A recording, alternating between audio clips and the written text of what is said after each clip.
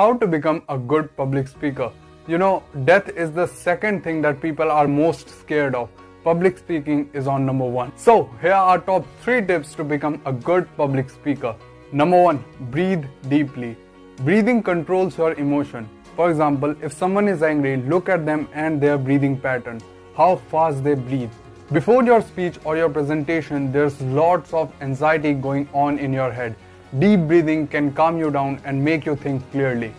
Number 2. Use storytelling. Storytelling is one of the most effective skill out there and you have to use this skill on your audience. Sell them your story. Make them imagine themselves in the story you are describing. Number 3. Engage with your audience. Make your audience participate with you. Ask them questions frequently. This way, your audience will be attentive and excited at the same time. Thank you.